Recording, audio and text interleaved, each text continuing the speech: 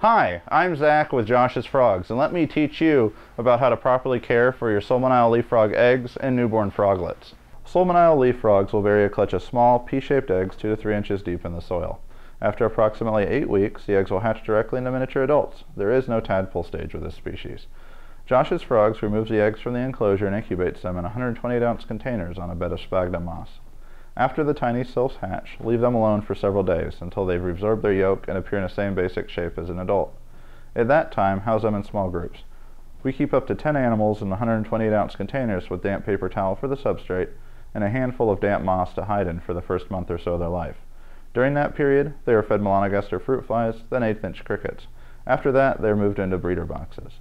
Looking for a place to buy quality captive bred Solomon Island leaf frogs? SILF supplies, or any other reptile or amphibian supplies, well then hop on over to joshsfrogs.com.